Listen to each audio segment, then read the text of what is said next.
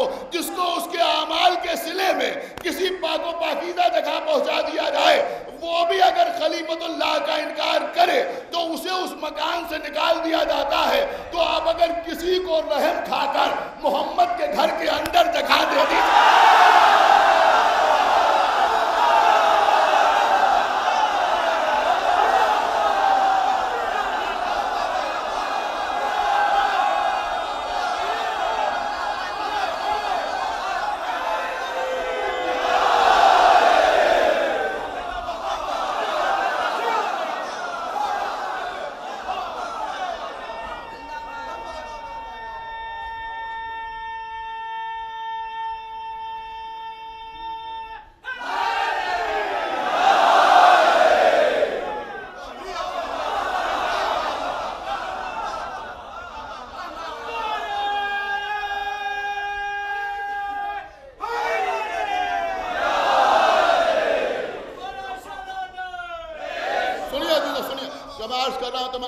میں تھا کہ ابلیس نے آدم کو سجدہ کرنے سے انکار کیا اللہ نے، ہو سکتا ہے کوئی کہے کہ صاحب بار بار مجلسوں میں یہ واقعہ ریپیٹ کیوں ہوتا ہے ارے بھیا، مجلسوں سے پہلے قرآن پہ اعتراض کرو، بار بار یہ واقعہ ریپیٹ کیوں ہوتا ہے ہاں؟ صلوات پڑھا بار محمد و آل محمد پر دیکھیں عزیزوں، اس جملے پر داد یہ بتا رہی ہے کہ قرآن پڑھنے والے یہاں بیٹھے ہیں؟ جو قرآن پڑھتا ہی نہیں، جسے توفیق ہی نہیں، اس کی شاید سمجھ ہی میں نہ آئے۔ ایک صلوات پڑھا بار محمد و آل محمد۔ یہ آدم اور ابلیس کا واقعہ قرآن میں اللہ نے بار بار دہرایا ریپیٹ کیا پڑھے لکھے لوگ بیٹھے ہوئے بار بار اللہ نے دہرایا۔ مولانا فرمان علی صاحب کے ترجمہ کیا ہوا، قرآن آپ کے گھر میں رکھا ہوگا، اس میں شروع میں دیکھ لیں، آپ کو سارا انڈیکس مل جائے گا کہ آدم اور ابلیس کا قصہ کس کس سورے میں اللہ نے نقل کیا۔ کس کس سورے میں اللہ نے نقل کیا؟ پہلے ہی سورہ بقرہ میں نقل ہوا، اس کے بعد دیگر سوروں میں نقل ہوا۔ لیکن اس وقت میں آپ کے سامنے عرض کر رہا ہوں، سورہ سات سورہ سات سورہ سات سے آپ کی خدمت میں عرض کر رہا ہوں۔ انشاءاللہ آپ محسوس کریں گے تو محسوس ہوں گے۔ اللہ نے وہاں بھی یہ واقعہ بیان کیا کہ میں نے مٹی سے ایک بشر بنایا۔ اور پھر میں نے فرشتوں سے کہا کہ جیسے ہی میں اس کے بدن میں اپنی روح کو داخل کروں تم سب کے سب سجدے میں گر پڑنا۔ دیکھیں آج کچھ نئی باتیں آپ کے حوالے ہوں گے تم سب کے سب سجدے میں گر پڑنا۔ اللہ کہتا ہے، جیسے ہی میں نے روح داخل کی، سب کے سب سجدے میں گر پڑے۔ کل ہم اجمعون۔ سب کے سب سجدے میں گر پڑے۔ سب نے سجدہ کیا۔ اللہ ابلیس۔ ایک ابلیس تھا جس نے صدمہ، سجدہ نہ کیا۔ کالا یا ابلیس ہو اللہ نے کہا، اے ابلیس۔ کالا یا ابلیس۔ اے ابلیس۔ ماں منا کا۔ کس نے تجھے منع کیا؟ انتس جدا انتس جدا اسے سجدہ کرنے سے لما خلق تو یدیا جسے میں نے اپنے ہاتھوں سے بنایا۔ ایک صلوات بڑے محمد و آل محمد پر اسے میں نے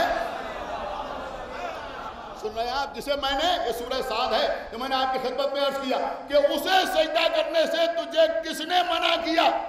جسے میں نے اپنے ہاتھوں سے بنایا۔ دیکھیں جو آپ سننا چاہتے ہو بعد میں عرض کروں گا، لیکن اس سے پہلے ایک بات عرض کر رہا ہوں، انشاءاللہ سارا مجمع محسوس کرے گا۔ بہت سمجھدار مجمع یہاں آتا ہے۔ پڑھے لکھے لوگ آتے ہیں، مجلس سننے کے لیے لوگ آتے ہیں، نوجوان آتے ہیں تو وہ بھی پوری توجہ کے ساتھ سماعت فرماتے ہیں، بزرگ دعاؤں میں یاد رکھتے ہیں۔ عزیزوں، سارے فرشتوں نے سجدہ کیا۔ ایک ابلیس نے سجدہ نہیں کیا۔ آپ مجھے قرآن کی کسی آیت میں دکھائیں کہ اللہ نے یا کسی فرشتے نے یا اللہ فرشتوں کو جانے دیجیے، خود ابلیس نے ان فرشتوں سے پوچھا ہو کہ تم نے سجدہ کیوں کیا۔ کیا سنا اس بندے نے؟ بھائی، خدا کے لیے بیدار ہو یہ کہیں آپ نے دیکھا؟ ان فرشتوں سے پوچھا گیا ہو کہ تم نے سجدہ کیوں کیا؟ اور فرشتوں نے کہا، ہم نے اس لیے سجدہ کیا کہ اللہ نے حکم دیا تھا۔ نہیں، فرشتوں سے نہیں پوچھا گیا کہ تم نے سجدہ کیوں کیا۔ اللہ نے ابلیس سے پوچھا کہ تم نے سجدہ کیوں نہیں کیا۔ اس کا مطلب یہ ہوا کہ جو اطاعت کی منزل میں ہو اس سے نہیں پوچھا جاتا کہ تم نے یہ کیوں کیا۔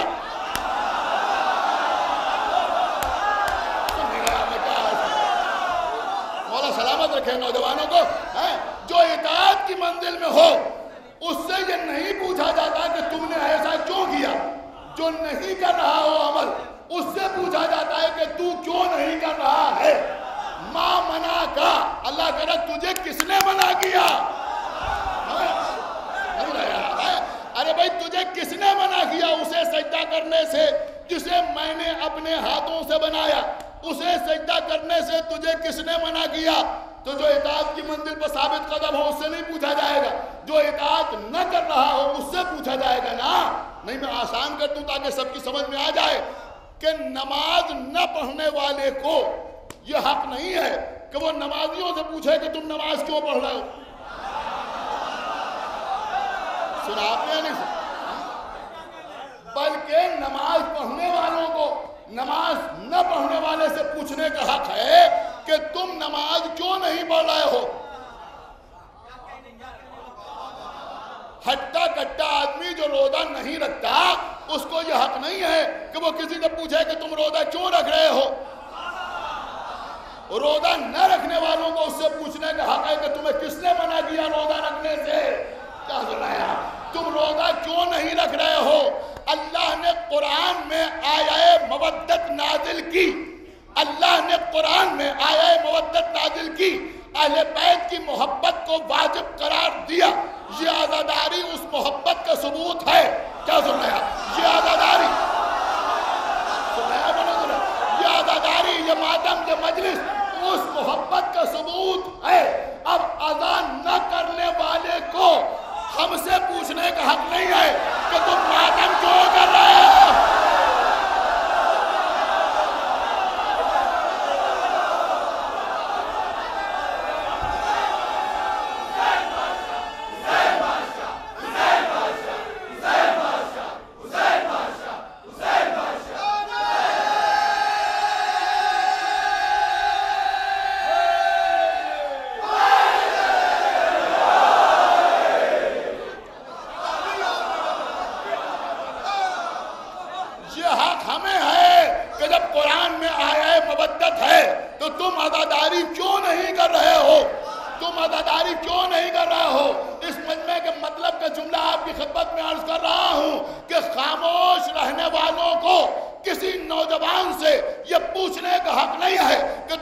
ہاتھ اٹھا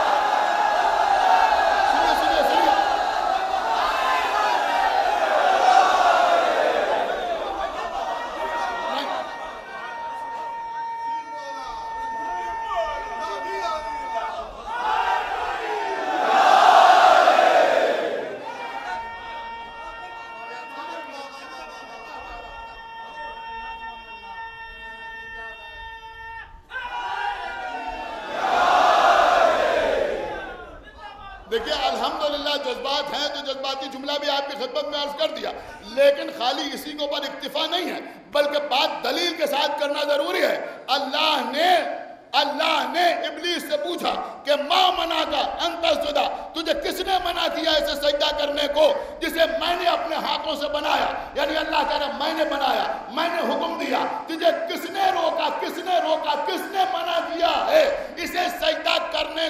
تھوڑی دیر صبر کے ساتھ سن لیجیے گا۔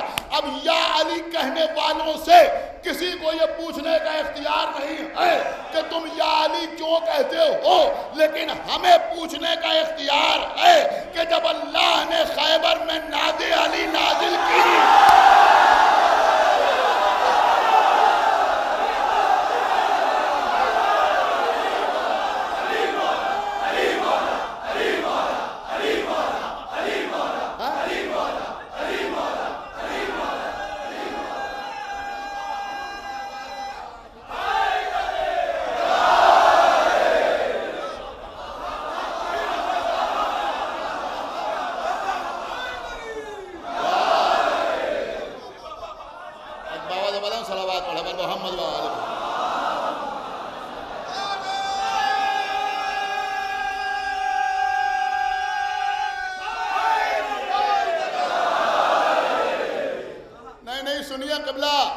اب بس۔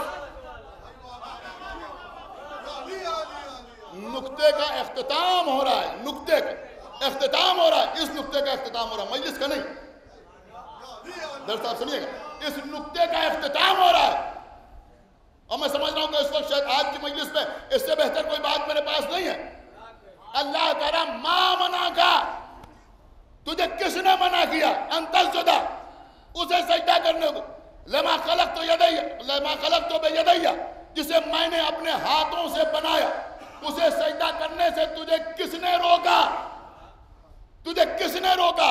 میں نوجوانوں سے ہاتھ جوڑ کے گزارش کر رہا ہوں، مجھے نقطہ مکمل کر لینے دینا نعرہ لگانے سے پہلے۔ اب کسی ایرے غیرے کو، کسی ایرے غیرے کو ہم سے یہ پوچھنے کا اختیار نہیں کہ تم محمد رسول اللہ کے بعد علی جن ولی اللہ کیوں کہتے ہو؟ نہیں سنیے سنیے سنیے۔ کسی ایرے غیرے کو ہم سے یہ پوچھنے کا اختیار نہیں کہ تم محمد رسول اللہ کے بعد علی ولی اللہ کیوں کہتے ہو؟ ہمیں یہ پوچھنے کا اختیار ہے کہ تجھے کس نے منع کیا علی ولی اللہ کہنے سے؟ حالانکہ نبی نے دونوں ہاتھوں کو اٹھا کے دکھایا تھا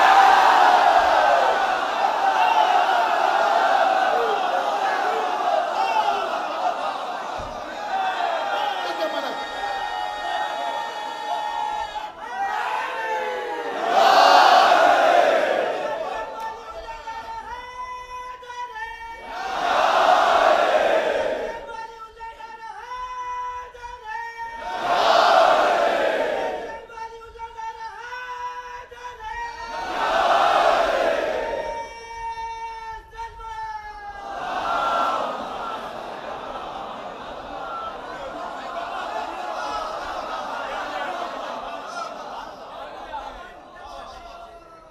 وہاں اللہ کہہ رہا ہے جسے میں نے اپنے ہاتھوں سے بنایا جسے میں نے کہے سے بنایا اپنے ہاتھوں سے بنایا۔ پھر انشاءاللہ کسی دن ہاتھوں پر گفتگو ہوگی۔ جسے میں نے اپنے ہاتھوں سے بنایا۔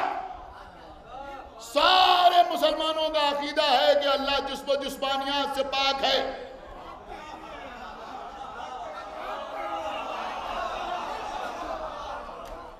سب کا عقیدہ ہے یا نہیں ہے کہ اللہ جسم و جسمانیات سے پاک ہے۔ نہ وہ چہرہ رکھتا ہے، نہ وہ آنکھیں رکھتا ہے، نہ وہ زبان رکھتا ہے، نہ وہ کان رکھتا ہے۔ آپ کا عقیدہ یہی ہے کہ وہ زبان نہیں رکھتا، مگر متکلم ہے۔ آنکھیں نہیں رکھتا، مگر دیکھتا ہے۔ ہاتھ نہیں رکھتا، مگر قادر ہے۔ پیر نہیں رکھتا، مگر ہر جگہ موجود ہے۔